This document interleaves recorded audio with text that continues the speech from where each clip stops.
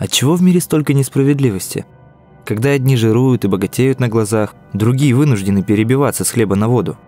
Кто это допустил, если есть Бог? Как же я могу это исправить? Ведь не зря я пришел в этот мир. Может, это он смысл моей... Ху-ху! Наконец-то!